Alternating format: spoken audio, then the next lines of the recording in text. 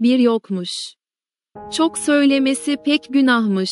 Köyün birinde Yusufçuk ve Fatmacık adında iki kardeş varmış. Bunların anneleri ölmüş, üvey anneleriyle yaşıyorlarmış.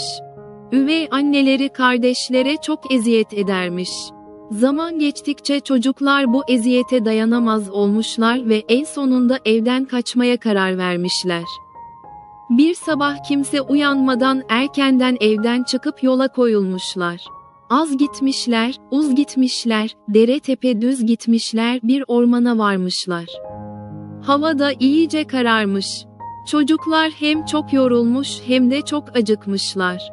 Ormanın koyu karanlığında ne yapacaklarını bilmeden dolaşırken tepenin ardında bir köy olduğunu anlamışlar.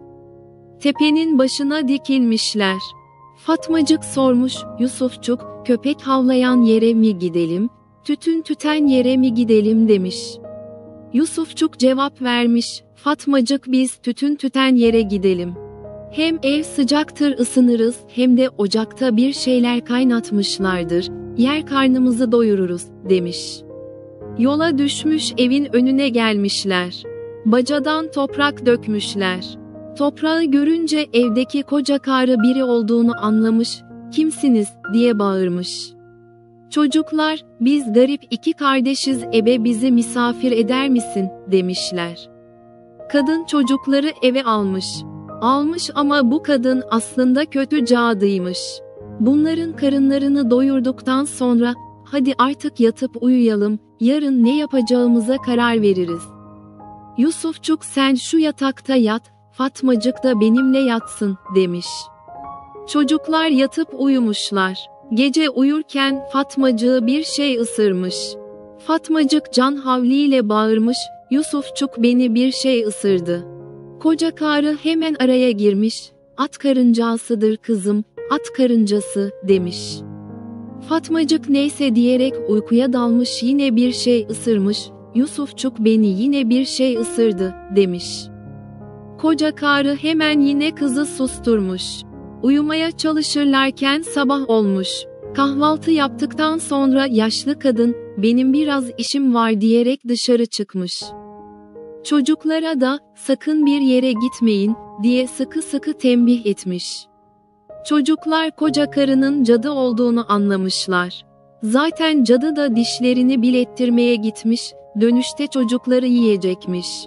Çocuklar kendi aralarında konuşup yola koyulmuşlar.